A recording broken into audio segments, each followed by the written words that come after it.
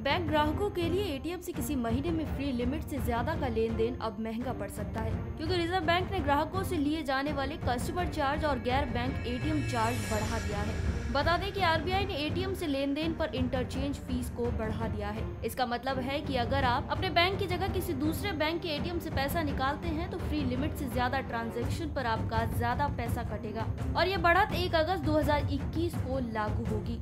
इस तरह reserve bank ने कस्टमर चार्ज की सीमा भी पर ट्रांजैक्शन बीस रूपए ऐसी बढ़ाकर इक्कीस रूपए कर दिया है। इसका मतलब है कि अपने बैंक के एटीएम में फ्री ट्रांजैक्शन की लिमिट क्रॉस करने पर आपको अब ज़्यादा चार्ज देना पड़ेगा।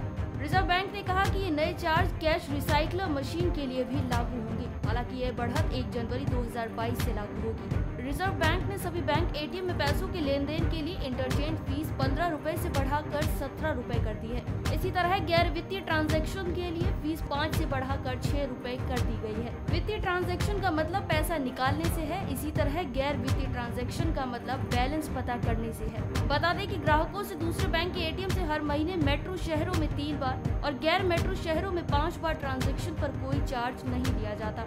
यानी अगर इस सीमा से ज़्यादा आपने ट्रांजैक्शन किया तो अब वह महँगा पड़ेगा। जून 2019 में गठित इंडियन बैंक एसोसिएशन कमेटी द्वारा जारी की गई सिफारिशों के आधार पर ये बदलाव किए गए हैं। एक बयान में आरबीआई ने कहा कि समिति की सिफारिशों पर व्यापक तौर पर विचार किया गया है। यह भी देखा गया कि एटीएम ट्रांजैक्शन पर इंटरचेंज फ़ीस में इसके बदलाव अगस्त 2012 में किए गए थे। इसी तरह कस्टमर से लिए जाने वाले चार्ज में पिछली बार बदलाव अगस्त 2014 में हुए थे। गौरतलब है कि बैंक अपने ग्राहकों को अपने एटीएम से एक निश्चित सीमा तक ट्रांजेक्शन फ्री देते हैं और उसके बाद उस पर चार्ज लगता है। आरबीआई का कहना है की ग्राहकों अपने बैंक एटीएम से हर महीने पाँच ट्रांजैक्शन वित्तीय और गैर वित्तीय ही फ्री में उपलब्ध होंगे।